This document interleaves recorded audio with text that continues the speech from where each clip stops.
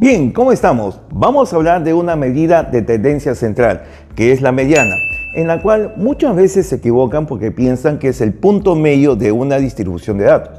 La mediana es aquel valor que divide a la distribución de datos en dos partes con la misma cantidad de datos, 50% a la izquierda, 50% a la derecha.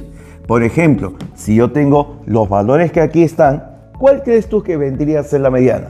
Ah, no te olvides, para calcular la mediana siempre hay que ordenar los datos. Tendríamos 4, 5, 6, 7, 9 y 10.